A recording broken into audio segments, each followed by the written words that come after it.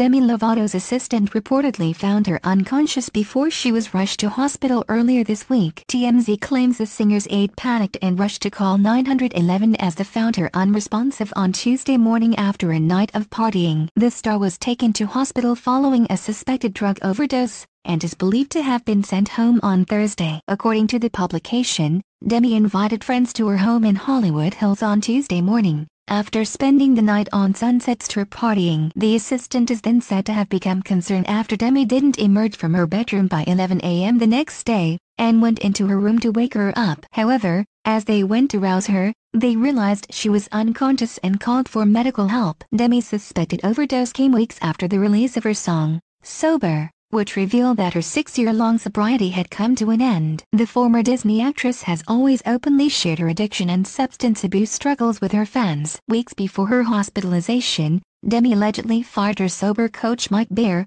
who had been supporting her recovery from addiction and sobriety journey. A source told The Sun, she and Mike started having arguments back in March. He felt like she was always making excuses for herself, her bad behavior and not telling him the truth about what she was up to.